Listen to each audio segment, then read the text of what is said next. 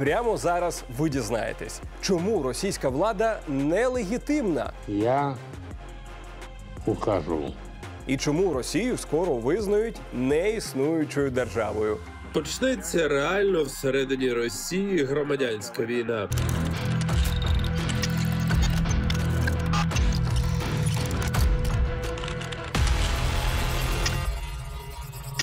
Вітаю, друзі! А чи ви знали, що в російських магазинах з'явилась нова послуга? Платне фото з курятиною.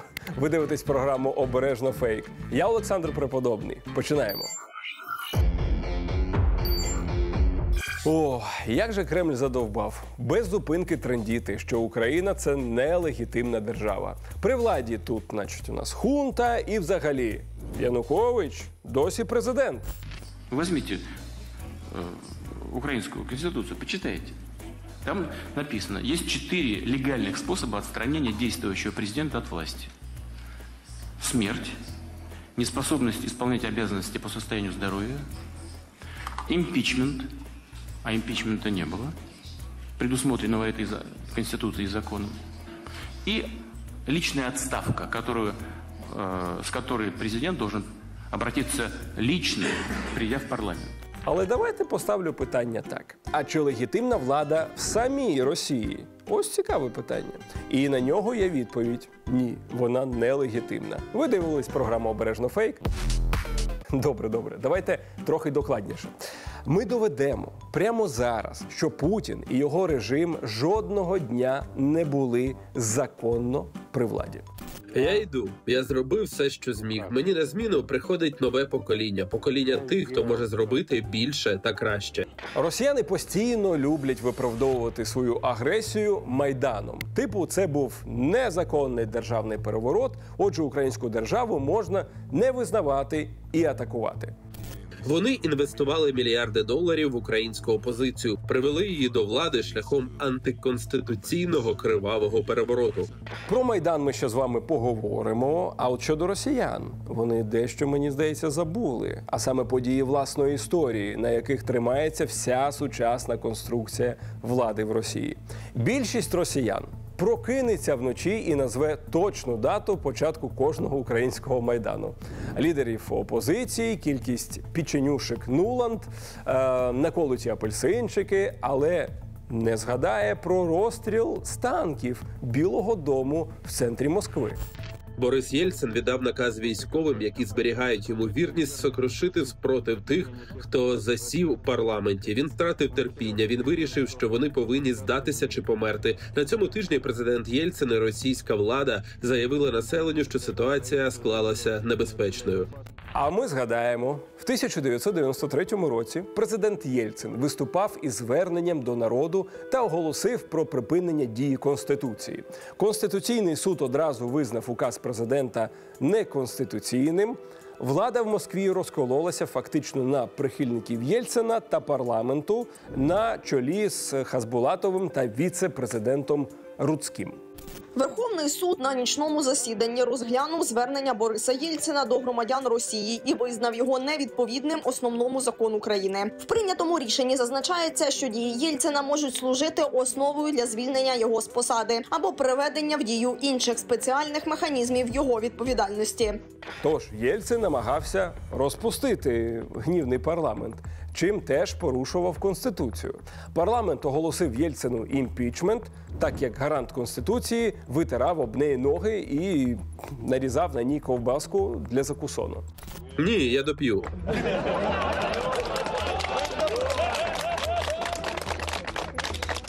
В Москві з мітингами вийшли захисники парламенту, і Єльцин наказав силовикам їх розганяти.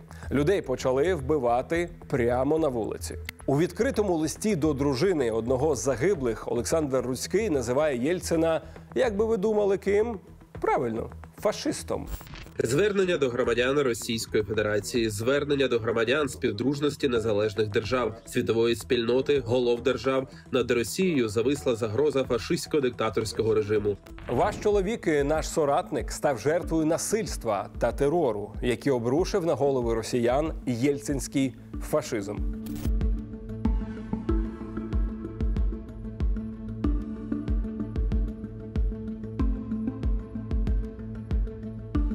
Ось так, друзі, і була створена справжня фашистська хунта, не вигадана. До речі, самого е, Руцького підтримували неонацисти баркашовці. Взагалі був якийсь спротив зі сторони Білого Дому. Є враження, що вони взагалі ні в кого не влучили. Чинили опіра баркашовці і декілька омонівців на четвертому поверсі. Все. І ще один цікавий факт: протестувальники в Москві збиралися біля Київського вокзалу. Тобто в Москві, виходить, був Київський майдан.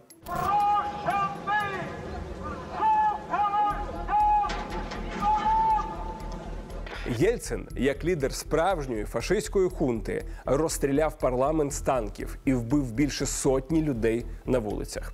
І, звісно, переписав під себе конституцію. Як вам така легітимність президента? Я скажу чесно, я просто проспав 18 годин в польоті. До цього розумієш, скільки не спав. А служба безпеки не пустила тих людей, які, так би мовити, повинні були мене розбудити. Я звичайно розберуся, їм вріжу як слід. Після цієї, ну фактично невеликої громадянської війни в Росії більше не існувало жодної законної влади. Все могли змінити наступні вибори президента 96-го року, так, але їх перетворили на звичайний фарс.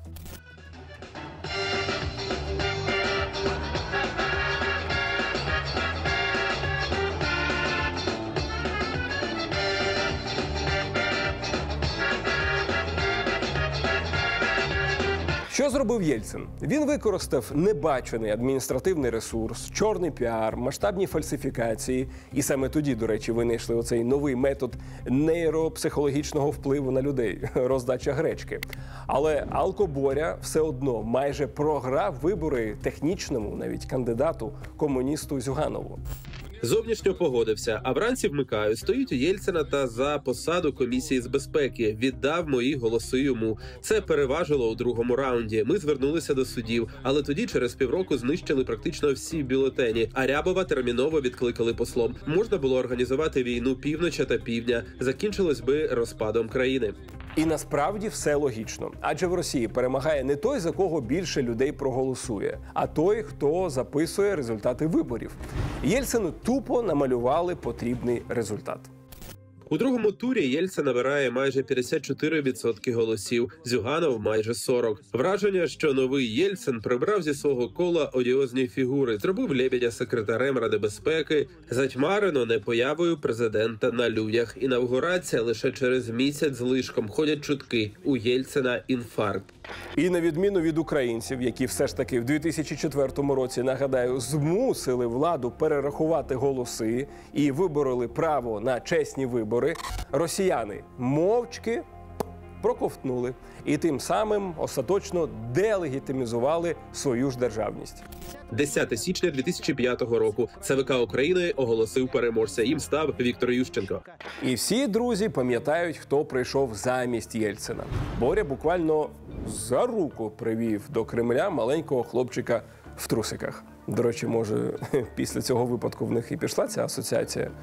Так я зупинився на його кандидатурі після довгих роздумів, аналізу. Я був впевнений, що він як людина чесна, чиста, демократична. Все це називалося як операція Приємник. Єльцин, маючи необмежену владу в країні, фактично вказав, хто повинен стати наступним президентом.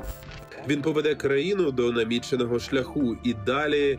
Єльцин зрікся престолу. Пам'ятаєте, це я ухожу, я устав. І Путін став виконувачем обов'язків нелегітимного президента. Вочевидь, Путіна поставили на цю посаду не за його харизму. Ну, подивіться, інтелект, популярність, а навпаки, через відсутність всього цього. Хунті потрібен був ручний песик, бажано молодий, і який сам вміє розмовляти на противагу Єльцину. Я вам говорю, Я вам кажу, що ви провалилися. Well, now for the first time, I can tell you that you're a disaster.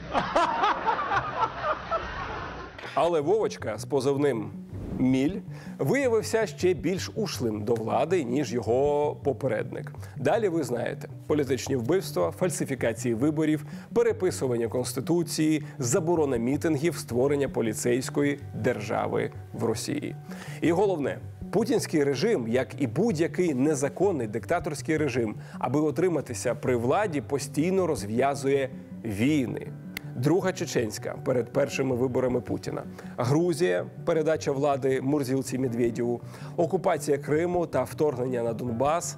Третій термін Путіна.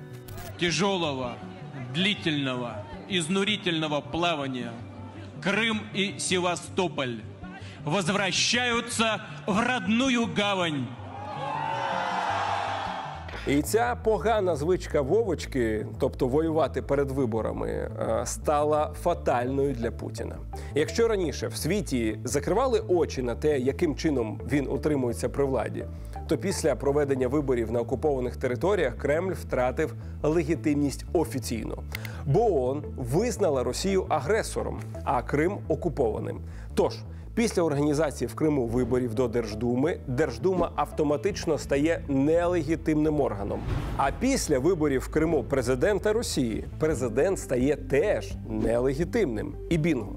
Після того, як в Криму голосували е, за зміну до Конституції Російської Федерації, Конституція Росії, друзі, як ви здогадались, теж більше не дійсна. Вона не має жодної юридичної сили. Ці вибори повністю незаконні, незаконні в політичному сенсі, а також повністю нікчемні. Насамперед, російська сторона відкриває зараз свого роду скриньку Пандори, тому що для мене це ставить знак питання на всю демократичну легітимність російської державної думи. Тож на міжнародному рівні в Росії немає законного парламенту, виконавчої влади і навіть конституції. А після проведення виборів Путіна у 2024 році, якщо вони пройдуть, все ж таки, в цьому питанні остаточно можна поставити крапку.